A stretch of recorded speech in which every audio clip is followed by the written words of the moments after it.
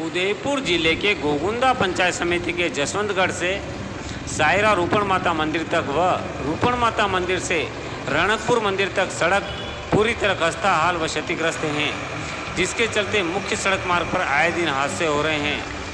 क्षेत्र के ग्रामीणों ने बताया कि ठेकेदार को निर्माण कार्य आदेश मिले करीब एक वर्ष पूरे होने को हैं, परंतु ठेकेदार द्वारा शुरू में कछुआ चाल से चूहों की तरह जगह जगह से सड़क को कुतर डाला एवं चार माह से सड़क निर्माण कार्य को पूर्ण रूप से बंद कर रखा है, जिसके चलते सायरा, तरपाल, रावो का सायरा सहित पूरे सड़क मार्ग पर बड़े बड़े गड्ढे हो रहे हैं।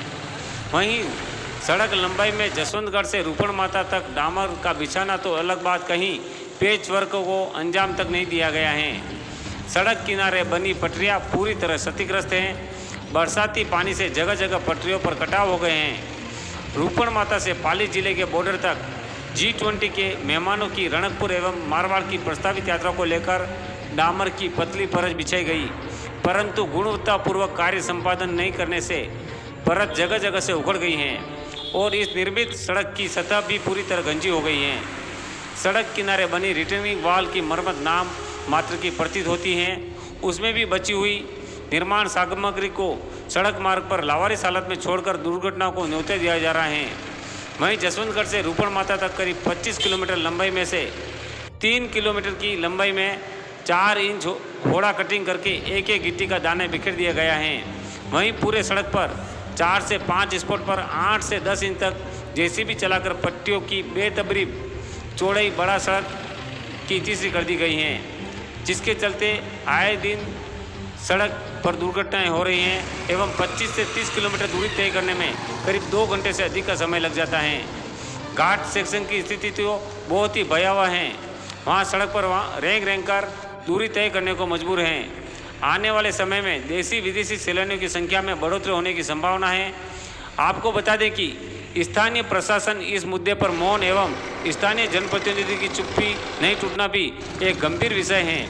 जनता का कोई धनी धुरी नहीं है। और नहीं कोई सुनवाई करने वाला है।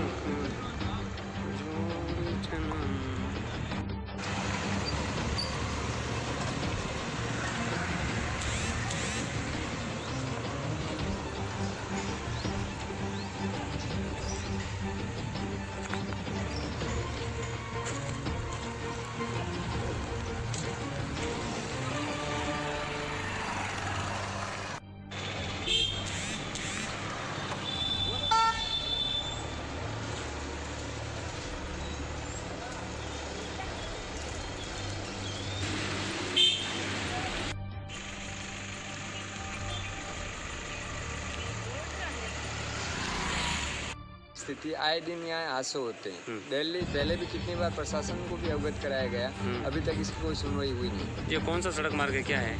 ये अपने गोगुंदा से राणकपुर। हाँ।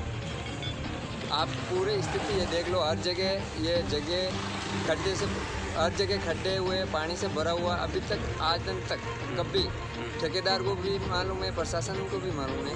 लेकिन आज दिन तक इसी कुछ अभी तक कुछ हुआ नहीं। पहले भी कितनी बार पेपर में दिया हुआ है कितनी बार अधिकारियों को भी अवगत करवाया गया है लेकिन ये स्थिति हो रही है। ठेकेदार भी ये काम बनकर जगह जगह आए दिन आशा होते रहेगा ठीक। मेवाड़ से मारवाड़ जोड़ने वाली स्टेट हाईवे नंबर बत्तीस है। इसकी यह दुर्घटना हो रही है कि दुर्दशा हो रही है कि आए दिन दुर्घटना हो रही है। अब एक हफ़्ते पहले भी हमारे यहाँ से एक लक्ष्मण सिंह करके आदमी एक्सीडेंट हुआ वो अभी भी कोमा में है हॉस्पिटल में एडमिट है। और आए दिन दुर्घटना होती रहती है कोई ना कोई ठेकेदार की लापरवाही है, काम चालू करके वो कहीं कहाँ गया पता ही नहीं इधर राणापुर पड़ता कुंभलपुर पड़ता मेन रोड है ट्रैफ़िक फुल रहता है और रोड की दुर्दशा हो रही है। तो मेरा प्रशासन से अनुरोध है कि इसको जल्दी से जल्दी रोड को ठीक करा। इस रोड को जी ट्वेंटी के टाइम में थोड़ा बहुत सही करवाया था। खड्डे अड्डे कम किया, बाकी ठेकेदार ठेकेदार की घोर लापरवाही इसकी हम आज कम से कम दस, बीस बार पहले भी शिकायत पत्रिका के माध्यम से, भास्कर के माध्यम से या किसी भी चैनल के माध्यम से कर चुका हूँ। दो चार बार मैं खुद भी स्वयं भी इसकी शिकायत कर चुका हूँ। बाकी इसकी कोई न खोज खपत कोई लेने वाला है ही नहीं है और ठेकेदार की घोर लापरवाही